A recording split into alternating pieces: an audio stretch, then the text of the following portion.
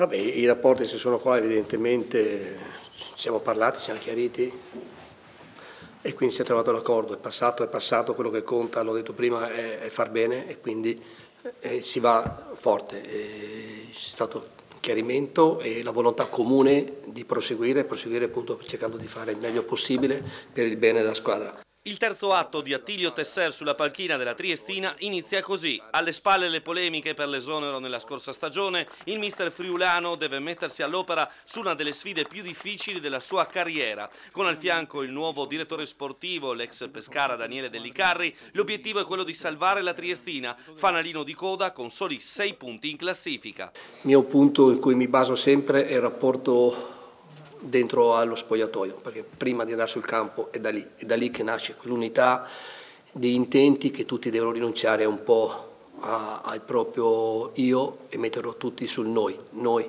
noi squadra, noi Triestina, noi un dovere verso eh, la proprietà che ci investe, ha investito su di noi e soprattutto verso, verso la maglia e verso i nostri tifosi che meritano il rispetto. Dobbiamo dare sempre il massimo, dare tutto quello che abbiamo dentro. Come affrontare allora la più grave malattia della squadra? Le sole 10 reti segnate in 16 giornate, peggior attacco del girone A della C. Il gol va costruito da una squadra, non solo dagli attaccanti.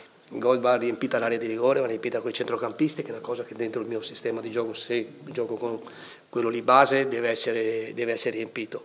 Io non penso che... Ehm, non ci siano giocatori buoni, poi c'è un momento in cui ti andrà tutto per bene e, e, e, vai, a, e vai, a, fare gol. Infine il messaggio a una tifoseria che non ha mai smesso di amarlo. Ma non ho dubbi che i tifosi torneranno a darci la mano, starà a noi portarli subito uh, dalla parte nostra, da questo aspetto, sta a noi dare il segnale, dare il segnale che ci crediamo, dare il segnale di serietà, dare il segnale di professionalità, perché ai ragazzi chiedo professionalità, a me stesso chiedo professionalità, pensare alle cose veramente nel miglior dei modi e che i giocatori diano veramente tutto. Parlo sempre di maglia, ma perché è una cosa non da tifosi, è una cosa vera che ci credo dentro ed è quello che, che dobbiamo fare.